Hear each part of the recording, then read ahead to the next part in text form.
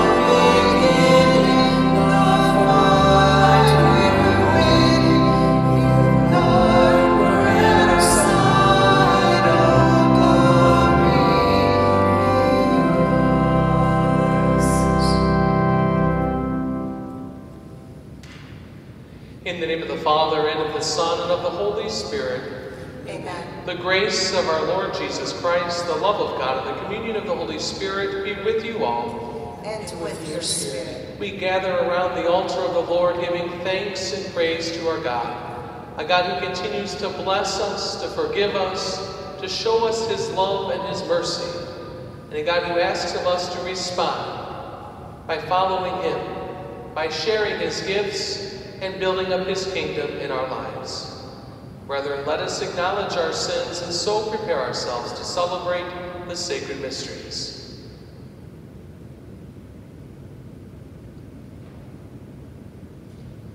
I confess To Almighty God, and to you, my brothers and sisters, that I have greatly sinned in my thoughts and in my words, in what I have done and in what I have failed to do. Through my fault, through my fault, through my most grievous fault. Therefore I ask Blessed Mary, ever Virgin, all the angels and saints, and you, my brothers and sisters, to pray for me to the Lord our God. May Almighty God have mercy on us, forgive us our sins, and bring us to everlasting life. Amen.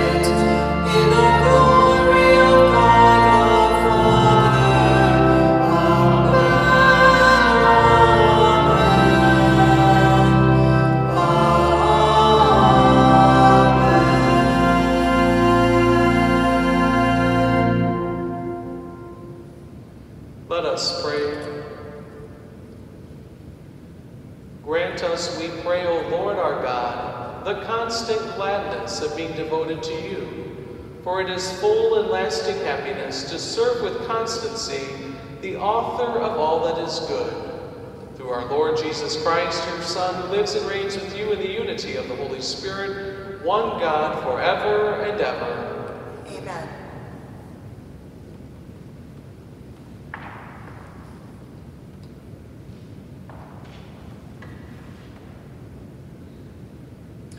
A reading from the book of Proverbs.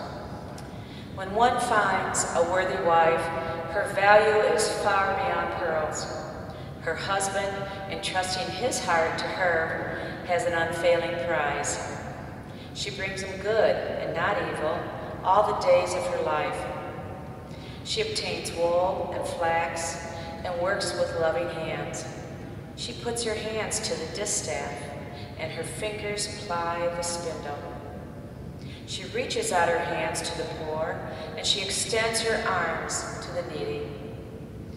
Charm is deceptive, beauty is fleeting.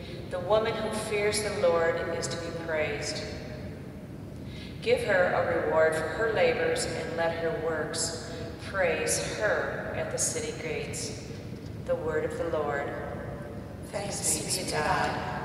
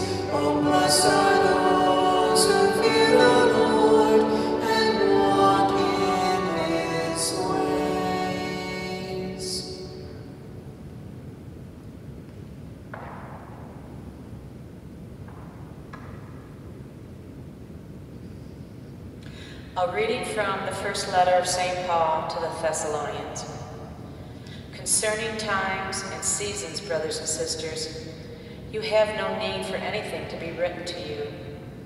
For you yourselves know very well that the day of the Lord will come like a thief at night. When people are saying peace and security, then sudden disaster comes upon them like labor pains upon a pregnant woman, and they will not escape. But you, brothers and sisters, are not in darkness, for that day to overtake you like a thief. For all of you are children of the light and children of the day. We are not of the night or of darkness. Therefore, let us not sleep as the rest do, but let us stay alert and sober. The word of the Lord. Thanks be to God.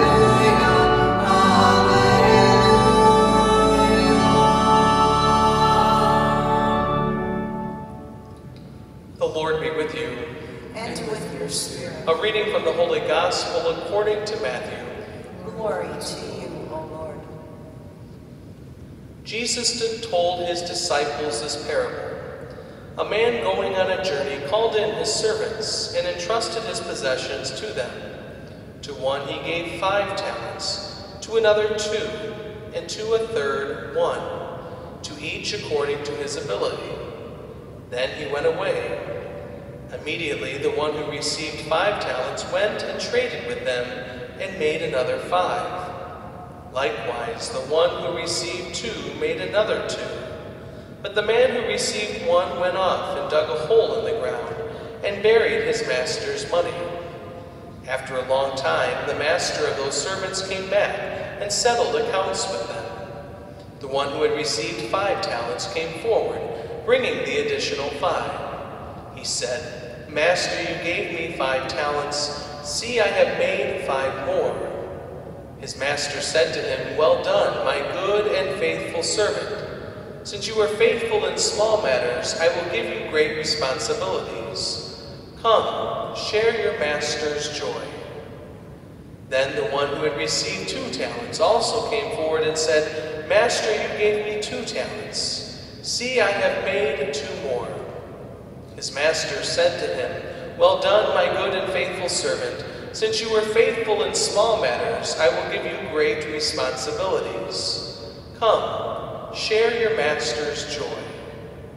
Then the one who had received the one talent came forward and said, Master, I knew you were a demanding person, harvesting where you did not plant, and gathering where you did not scatter. So out of fear I went off and buried your talent in the ground. Here it is back. His master said to him in reply, You wicked, lazy servant. So you knew that I harvest where I did not plant and gather where I did not scatter. Should you not then have put my money in the bank so that I could have got it back with interest on my return? Now then, take the talent from him and give it to the one with ten. For to everyone who has, more will be given, and he will grow rich. But from the one who has not, even what he has will be taken away. And throw this useless servant into the darkness outside, where there will be wailing and grinding of teeth. The Gospel of the Lord. Praise to you, Lord Jesus Christ. Greetings, everyone. It's great to be with you on this weekend as we, we gather through the power of technology as a church family, especially during the month of November, a time to give thanks, thanking God for all the many good things He's done for us, thanking for our church family, our faith, and the opportunity to worship Him. As a young child, I was kind of like a little entrepreneur, always came up with crazy little businesses, and now looking back, I feel bad for my parents who had to put up with all these little ideas and crazy schemes I was trying to run out of our family house. And this gospel always made a lot of sense to me. The parable of Jesus in today's gospel always hit home. Because as a little kid, I was not one to put money in a savings account, but rather I wanted to invest, like the gospel seems to be telling us. I wanted to double my money, make lots of money, and that would bring me happiness. That was my plan as a little six year old saint in Toledo, Ohio. God bless my parents again. But as we think about and reflect upon this gospel, and it's a parable that I'm pretty sure we as Catholics can all probably recite, we're all familiar with, and as we reflect upon it, I think it has a lot of meanings to us. What means the most to me, especially recently, if we reflect upon this, is the investment that God has made in you and me. The investments as children of God that God has placed in us. If you think about the moment of creation when life begins in each of us, God has destined a plan for each of us. Now, certainly, He's given us free will. God's not forcing us on certain choices or how to act. Rather, God inspires us and equips us and calls us, and yet we know we don't always follow that path. And yet, if we're honest, we know God has given us certain gifts, certain talents, certain abilities. I think of the parishioners who are, have this God given gift for voice and singing, and how they use that gift to give glory and honor to God through the music ministry. I think of people who are good with the trades and with their hands, and who volunteer in different projects around the church, churches. We could go on and on with practical ways that people recognize their gifts and talents here in church and how they respond by putting it into practice using that investment that God had placed in them to multiply and bring about good.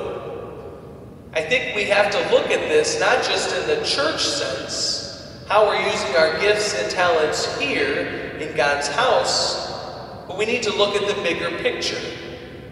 That if we look in the mirror, if we do true self examination, we can see different gifts and abilities all of us have been given by God. And the challenge is, what have we done with that? How have we responded to that investment? Have we borne fruit in our lives? Have we given God glory and honor by how we live? Have we built up God's kingdom and brought people to Jesus? Or have we squandered that investment, kept it to ourselves, buried it, and was only concerned about ourselves? It's scary to think about, but throughout the month of November, all the gospel readings and all the readings, in a sense, call us to reflect upon our own mortality. They challenge us to look at ourselves and to see how we're doing at responding to that call. With today's gospel, how are we doing at responding with the investment God has made in you and me? What fruit have we borne? Have we brought people closer to Christ? Have we shared Christ's glory? Have we shared Christ's compassion? Have we shared God's forgiveness? When people look at us, do they see a faithful disciple of the Lord? A person of joy and happiness, a person of love and service, a person of compassion and mercy. What have we done with the investment God has placed in us? There's a common saying in our church that we're called to extraordinary things, that we're called to be extraordinary men and women, that we're called to be saints. And this is only the case because God has made an investment in us. He has breathed life into us, He has breathed the gift of faith, He has breathed the gifts and talents, He has breathed the temperaments, He has created us in His own image and likeness and He has equipped us for greatness in our lives. So as we pause and reflect, have we responded? Have we brought about greatness? Have we brought about Christ and His presence? Have we brought about the joy that comes from following Jesus Christ? What kind of fruit have we borne in our lives? As I said, the readings this whole month remind us of our mortality, remind us of our judgment. That just like in the parable, the three individuals had to give a response. and turn in the fruits of their labors, so too one day we will have to do the same. And it's very clear the options that Christ will say. And so, my prayer for all of us is that we can be like the first two who bore fruit, took the Lord's investments and did great things, who multiplied the gifts. That we too can be told one day, Well done, my good and faithful servant. I will give you great responsibilities. Come and share your master's joy. This week, as we go about another week, let us reflect upon those talents, those gifts, those investments God has made into us. Let's reflect upon the fruits we have, or maybe we haven't borne, by using them. We know the response we want from God. We know we want to be good and faithful servants, and we know we want to share in the joy of God. And so we must respond and bear that joy and that service and that love and that compassion in our lives to bring about the fruits of the investment God has made in us. My brothers and sisters in Christ, we have been created for extraordinary things, to do extraordinary things, and to bring about extraordinary things in this world. All for the goal of experiencing the extraordinary things God has awaiting for us in the world to come. Have we responded? What have we done with the investment? Have we brought about fruit in our lives?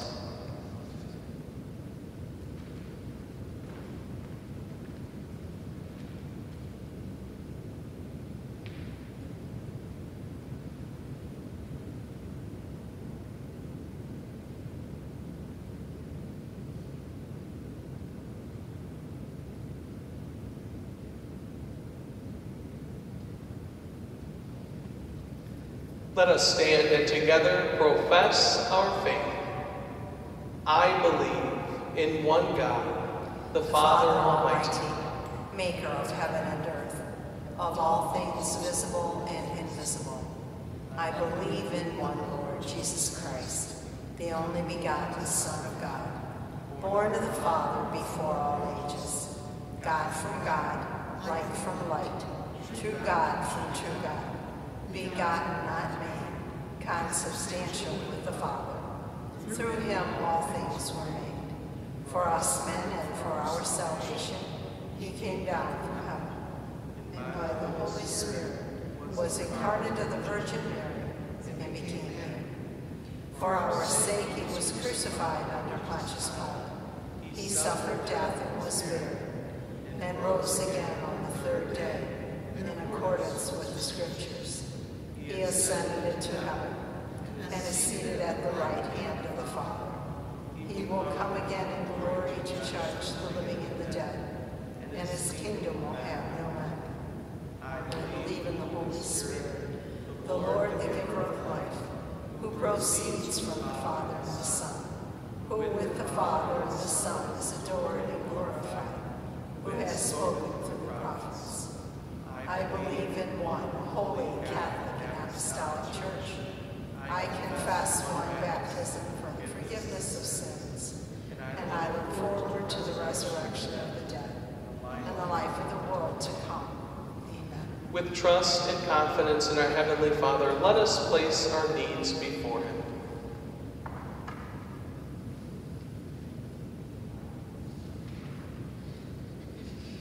for all leaders, political and religious, that they will be open to the Holy Spirit so that they will work together for peace and unity. We pray to the Lord. Lord, hear our prayer. For the suffering and the lonely, that they may be comforted by the consoling presence of Christ. We pray to the Lord. Lord, hear our prayer. for the grace this week to use the unique talents that God has given to us to bring glory to His name. We pray to the Lord. Lord, hear our prayer.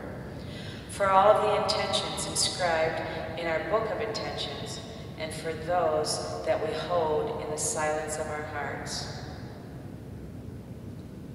We pray to the Lord. Lord, hear our prayer. For an increase in vocations to the priesthood and to the religious life, that more young people will respond to God's call to serve His church. We pray to the Lord. Lord, hear our prayer. And for all the faithfully departed, that they may see the glory of God and rest in peace. We pray to the Lord. Lord, hear our prayer. Good and gracious God, we place these needs before you and we ask that you grant them according to your holy will. For we ask them through Christ our Lord.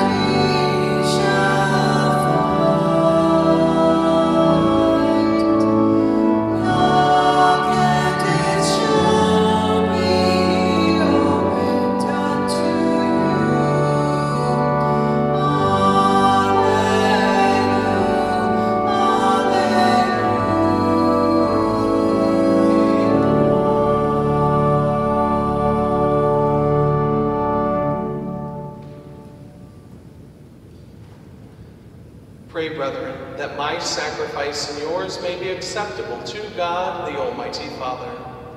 May the Lord accept the sacrifice at your hands for the praise and the glory of his name, for our good and the good of all his holy church.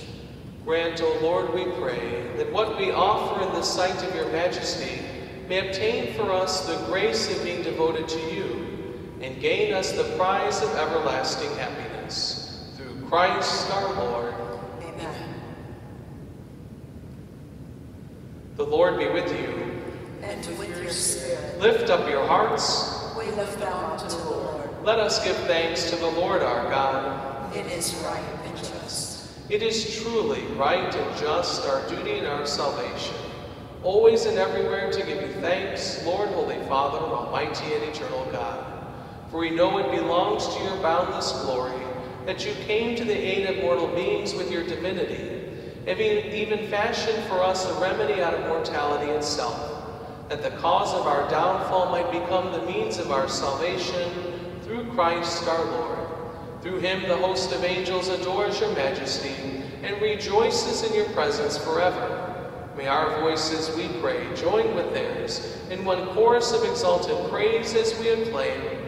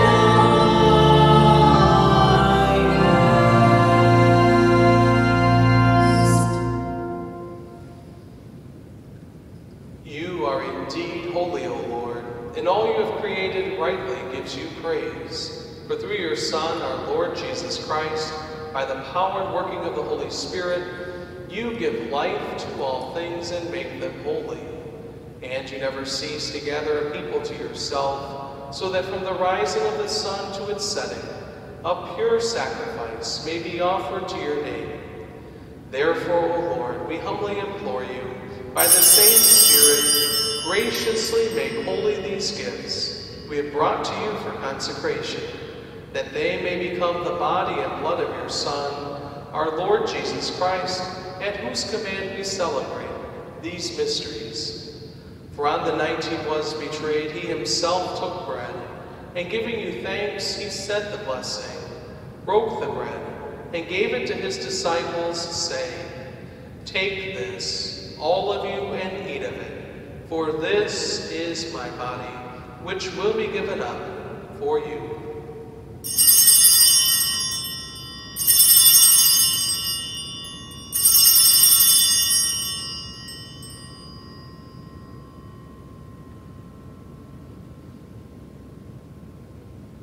In a similar way, when supper was ended, he took the chalice, and giving you thanks, he said the blessing, and gave the chalice to his disciples, saying, Take this, all of you, and drink from it, for this is the chalice of my blood, the blood of the new and eternal covenant, which will be poured out for you and for many for the forgiveness of sins. Do this in memory of me.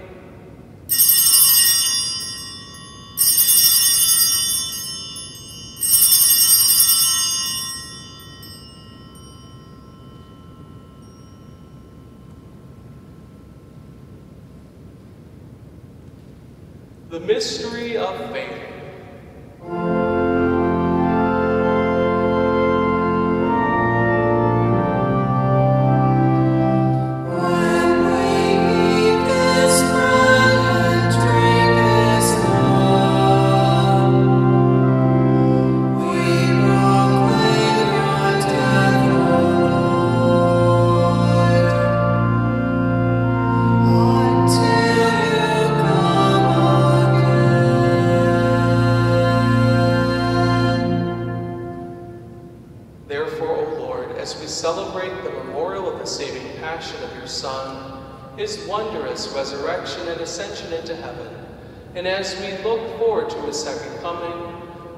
Offer you in thanksgiving this holy and living sacrifice. Look, we pray upon the oblation of your church, and recognizing the sacrificial victim, by whose death you willed to reconcile us to yourself, grant that we, who are nourished by the body and blood of your Son, and filled with this Holy Spirit, may become one body, one spirit in Christ. May he make of us an eternal offering to you, so that we may obtain an inheritance with your elect, especially with the most blessed Virgin Mary, Mother of God, with blessed Joseph, her spouse, with your blessed apostles and glorious martyrs, with Saint Ann and with all the saints, on whose constant intercession in your presence we rely for unfailing help. May this sacrifice of our reconciliation, we pray, O Lord, advance the peace and salvation of all the world. Be pleased to confirm in faith and charity your pilgrim church on earth, with your servant Francis, our Pope, and Daniel, our Bishop, the order of bishops, all the clergy, and the entire people you have gained for your own. Listen graciously to the prayers of this family whom you have summoned before you. In your compassion, O merciful Father, gather to yourself all your children scattered throughout the world. To our departed brothers and sisters, and to all who were pleasing to you at their passing from this life, give kind admittance to your kingdom. There we hope to enjoy forever the fullness of your glory, through Christ our Lord, through whom you bestow on the world all that is good. Through him and with him and in him, O God, Almighty Father, in the unity of the Holy Spirit, all glory and honor is yours forever and ever.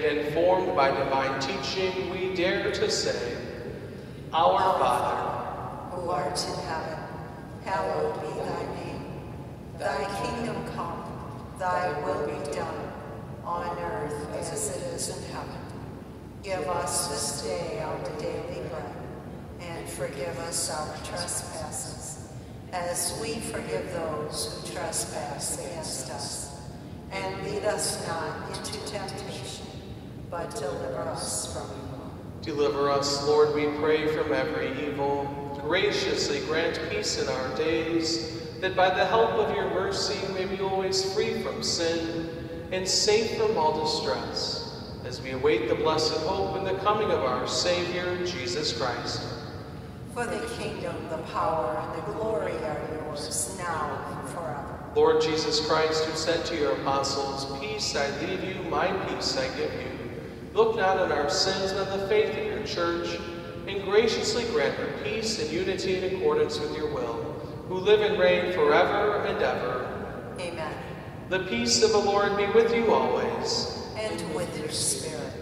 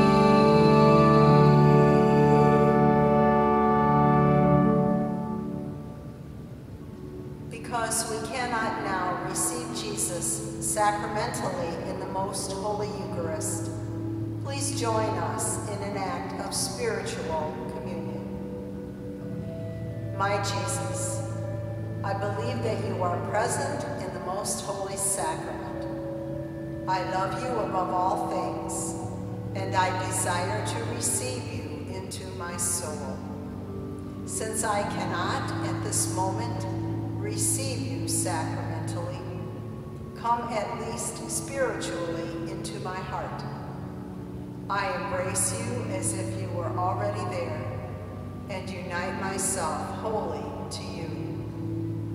Never permit me to be separated from you. Amen.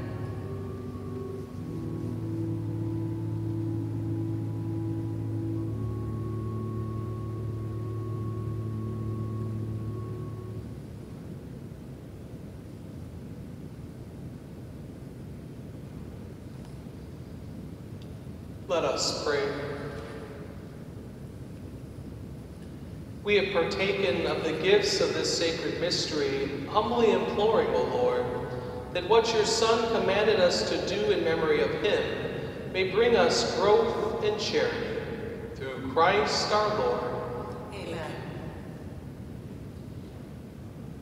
We have just one announcement this weekend. Our moms group will be hosting a Nerf War on Saturday, November 21st at 1.30 p.m. at Bishop Hoffman Hall. If you and your kids are up for a good battle, please call the St. Joseph Parish office to RSVP. Thank you. The Lord be with you. And with your spirit. May Almighty God bless you, the Father, and the Son, and the Holy Spirit. Amen. Go forth, the Mass is ended. Thanks be to God. Saint Michael the Archangel, defend, us in battle. Be our protection against the wickedness and snares of the devil. May God rebuke him, we humbly pray.